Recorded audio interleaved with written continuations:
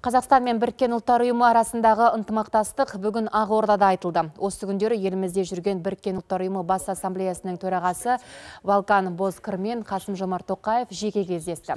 Президенттің пайымынша төрағаның бұл сапары жаһандық саясатта орталық Азияның рөлі артып келе жатқанын көрсетеді. Сондай-ақ мемлекет басшысы халықаралық қоғамдастықтың пандемия салдарына қарсы күресте жұдырықтай жұмылуы қажет деп санайды және қажет болса Қазақстан өз вакцинасын мұқтаж елдерге ұсынуға дайын.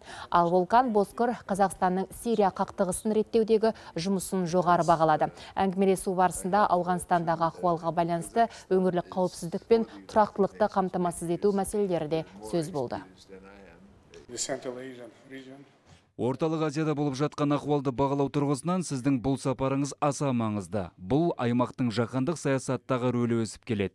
Өзіңізді Біріккен ұлттар ұйымы бас ассамблеясының сайланған төрағасы ретінде көргеніме қуаныштымын. Біз Біріккен ұлттар ұйымын мультилатерализмнің діңгегі ретінде қарастырамыз және оның мақсаттарын толық қолдаймыз. Пандемияның теріс салдары кезінде осы мақсаттарға қол жеткізу өте маңызды және ассамблея сіздің басшылығыңызбен бұл ретте үлкен үлес қосады деп сенеміз. Қазақстанда халықаралық қоғамдастықтың жауапты мүшесі ретінде дағдарыстың салдарын еңсеру үшін барлық күш жігерін жұмсайды. Біз өзіміздің төл вакцинамызды әзірледік. Келешекте қажет болған жағдайда оны мұқтаж елдерге ұсынуға дайынбыз.